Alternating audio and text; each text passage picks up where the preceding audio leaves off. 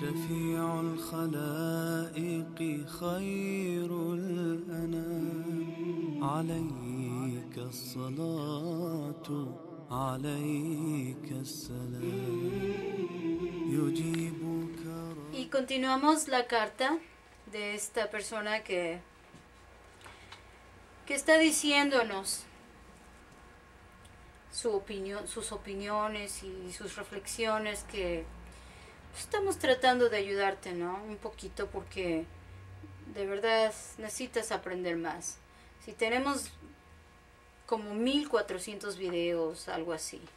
Si puedes ver, en- busca el título donde el profeta Mohammed, paz y bendiciones sobre él, habla sobre Jesús, sobre también tenemos otros donde Jesús habla acerca de, de el profeta Mohammed, que él va a llegar, paz y bendiciones sobre él.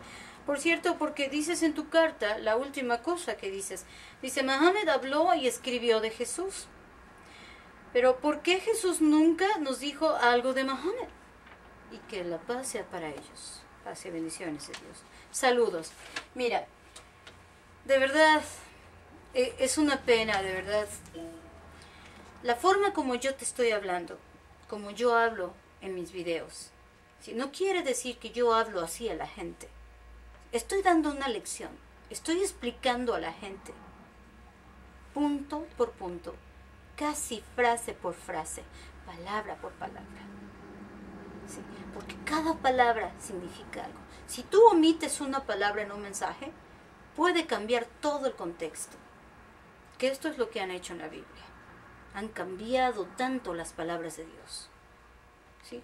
Entonces, de verdad, le- te repito, esta forma que hablo es para enseñarles, para confirmar, para reafirmar, porque lo que estoy diciendo es verdad. Yo estoy totalmente segura de lo que digo y lo hablo con firmeza. ¿Sí? Pero cuando hables de una persona, de verdad te recomiendo, no por mí, a mí de verdad no me ofenden ni me molestan estas cosas, pero ten, poquito de respeto y, conocimiento. Conoce a la gente antes de hablar de la gente. A veces se lleva uno cada tope. Entonces, ¿qué fue lo que Jesús, el profeta, paz y bendiciones sobre él, habló de Mohammed? Paz y bendiciones sobre él. Él dijo, dice, en el Evangelio de Juan, Jesús predijo acerca de Mohammed, si ustedes me aman, entonces conserven mis mandamientos, y pediré al Padre, y Él le enviará otro consolador, para que Él pueda permanecer con ustedes por siempre. Está en Juan 14, 15, 16. Y además dice, Jesús dijo, les tengo aún muchas cosas que decir, pero ustedes no las pueden soportar ahora. Cuando el Espíritu de verdad venga, Él los guiará en toda verdad, pues no hablará de sí mismo, sino que Él oirá, sino que lo que Él oirá. Tan solo Él les hablará y Él les mostrará cosas venideras. En Juan 16, 14. Así que el mensaje de Jesús estaba incompleto. Otro profeta era necesario para guiar al género humano. Un sacerdote en, en el Evangelio de Bernabé le preguntó a Jesús, ¿eres el Mesías de Dios que esperamos? Jesús contestó, ciertamente no soy él, pues él está hecho antes de mí y vendrá detrás de mí. Luego dijo el sacerdote, ¿cómo será el Mesías llamado y qué señal revelará su llegada?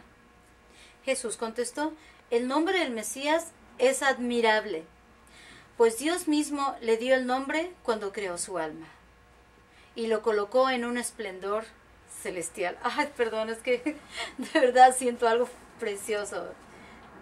Mira, todos los profetas, de verdad, ten- tenían una gran sabiduría, amamos a todos ellos.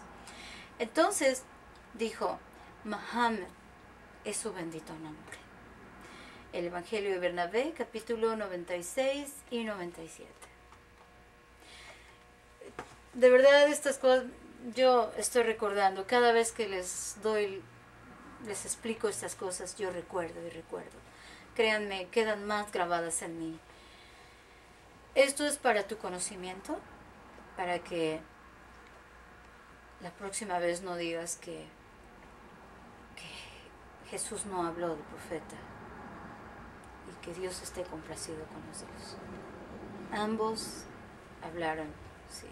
Y, y el profeta Muhammad, paz y bendiciones sobre él, él no solo habló de Jesús, habló de todos los profetas. Habló de la creación de Adán, la primera creación. Imagínate, él habló desde el inicio de la creación. ¿Todos los libros hablan de eso o no? Todos los libros hablan de la creación de Adán, de la creación de los cielos y la tierra. Todos los libros, la Torah de los judíos, la Biblia de los cristianos y el Corán, que es de los musulmanes. estos son los tres libros donde se habla de todo, todo, lo mismo, la creación de Dios, la creación del hombre, y el libro más completo de verdad que yo te puedo decir, porque yo leí los tres libros, es el Corán. Te invito, te exhorto a que lo leas. Y la próxima vez que escribas, esperamos recibir una carta de ti con más conocimiento, con más respeto y, y pues adelante. A leer se ha dicho. يجيبك ربي لما ترتجي فأنت